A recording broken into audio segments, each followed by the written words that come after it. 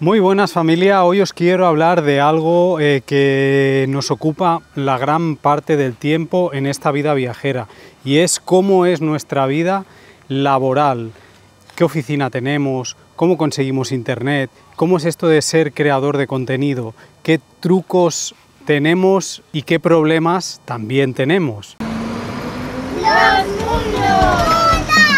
¿Los mundo? Fijaros, ahí está Marta que está haciendo un doble trabajo. Bueno Marta, ¿qué haces disfrutando aquí de este paraíso? Disfrutando y trabajando, porque estoy siguiendo historias y vigilando a los niños también. Yo sobre todo grabo con el móvil, eh, edito con el móvil y subo con el móvil. Vaya, lo hago todo con este aparatito. Lo de editar es medio complicado ahí con los dedos, no, no es lo mío, pero bueno, por lo menos cortar, poner música y ahí un poquito sí lo puedo hacer. Y bueno, las cosas que no puedo hacer aquí, que son más de escribir, las hago en el ordenador, ¿no? Pues la guía que acabo de hacer, em, todo lo que sea un poco de escribir más, necesito el ordenador, porque yo así como con los dedos no, no me sale bien. Pero bueno, es un lujo también poder con esta pequeña herramienta gestionar el 80% de, tu trabajo. Sí, no, claro, con esto voy a todas partes y mira, pues aprovechando cualquier momento es también eso, ¿no? Aprovechar el, el momento. Digo, ahora se bañan los niños, pues venga, yo trabajo un poquito, luego me baño yo. El tipo de trabajo que hace ella es más con un formato de móvil, puede, digamos, hacer prácticamente casi todo, porque es un contenido más de móvil. Entonces, pues ella tiene esa suerte. Mi trabajo es más de ordenador, de estar sentado y yo para eso siempre he necesitado una oficina. Por pequeña que la llamemos, es una oficina. Diseñé una pequeña oficina que os quiero mostrar cómo es y cómo la tengo pues un poquito organizada. Bueno, pues yo tengo tres oficinas, dos de ellas están aquí dentro y una la tengo en el exterior, que os voy a enseñar al final. Como veis, más que esta sería la primera oficina, pero más que una oficina es una mesa de trabajo que utilizamos toda la familia y muchas veces está ocupada. Eh, por ejemplo, Taor está haciendo su escuela, que es más online, Eric está eh, haciendo sus números y escritura, y Marta está trabajando y les acompaña en su escuela. Entonces, la segunda oficina que tengo aquí dentro para estos momentos que no me puedo meter aquí es la siguiente. Aquí digamos que los que conocéis el camper pues ya lo sabéis. Esta es nuestra cama, la de Marta y mía. Y aquí digamos que yo tengo una pequeña oficina que es la que os quería mostrar. Os enseñé em, en los vídeos de camperización pues os enseñé un poquito lo que era la mesa, ¿no? que es una mesa plegable simplemente. Lo que nunca os llegué a enseñar es cómo la tengo distribuida. Eh, vamos a ir de arriba para abajo. En la parte de arriba pues tenemos un poquito libretas y libros y aquí un ventilador muy importante. Aquí está, aparte del ventilador, pues está esta toma de luz y una toma de luz trasera que es más para la lectura. ¿Veis? Con este entonces, primer interruptor luz, luz, ventilador. Vale, ya luego aquí, como veis, eh, tengo una pantalla, un monitor, donde monitoreo con cuatro cámaras, eh, pues todo, digamos, el perímetro del camión. Entonces desde aquí yo tengo todo el control, tanto de día como de noche, o sea, cuando hago estancias, esta pantalla la tengo aquí y cuando viajamos en coche, simplemente la, saco porque le monté, le monté aquí un sistema de anclaje rápido, me la llevo delante y me sirve para la conducción. Y esto está continuamente grabando. Tenéis el vídeo completo aquí arriba, si queréis ver cómo lo monté y demás. Ya luego tenemos esta mesa, que también es un pequeño estante, donde van guardados los dos ordenadores, la tablet y discos duros. Los discos duros los tengo aquí en velcro porque eh, digamos que a veces los tengo aquí y a veces pues me los llevo con el ordenador. Entonces siempre trabajo con dos discos duros, uno normal y uno de backup. Y esto es muy importante porque si se os fastidia un disco duro como me pasó a mí y no tenéis un backup, una copia de seguridad hecha, os quedáis sin nada. Sin nada es sin nada y son muy propicios en este tipo de viaje a fallar. No es el primero que me falla ni va a ser el último. Yo creo que ya se me han roto como tres o cuatro. Entonces, eh, importante siempre hacer la copia de seguridad.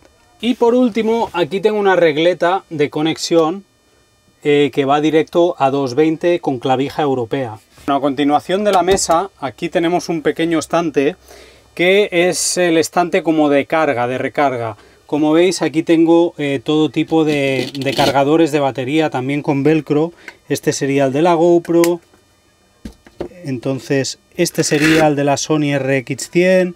Este sería el de la Sony A7S3. Eh, los cables de los iPhones que se quedan por la noche aquí puestos. Eh, los digamos los auriculares, algún disco duro, linterna, pues un poquito zona de electrónica eh, que se tenga que cargar. Como veis somos viajeros, pero nuestro trabajo, ser creadores de contenido, hace que tengamos pues una vida muy intensa a nivel virtual. Este tipo de vida pues tiene ciertas demandas que hay que cubrir, como tener un buen sistema de energía, pues para cargar, siempre tener cargadas las cámaras, tener batería para el ordenador. Es decir, siempre necesitamos de una fuente de energía eléctrica.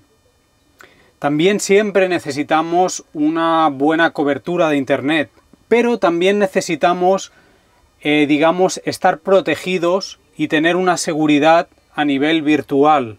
Una seguridad pues que cubra nuestra navegación en móvil, en el ordenador, eh, a la hora de subir contenido, a la hora de navegar, entonces, nuestra herramienta para eso es NordVPN. Llevamos ya tres años trabajando con NordVPN y la verdad es que estamos encantados. Nos da una tranquilidad infinita. Y cuando algo funciona bien, pues como dice mi socio, no lo cambies. ¿Y qué es NordVPN? Pues NordVPN es una aplicación que puedes instalar en todos tus equipos, en el móvil, en el ordenador, y lo que hace es proteger tu navegación porque navegas a través de servidores privados y de una forma encriptada. Al navegar de esta forma, pues básicamente lo que te da es unos estándares de protección y de seguridad brutales. Entonces, a la hora de hacer cualquier compra online, a la hora de entrar en Google, a la hora de conectarte a cualquier wifi abierto, porque a veces llegamos, pues como ahora, a un camping y nos dan eh, la contraseña del sitio, eh, digamos que tú eh, al entrar en esa red, entras pero de una forma privada y de una forma segura.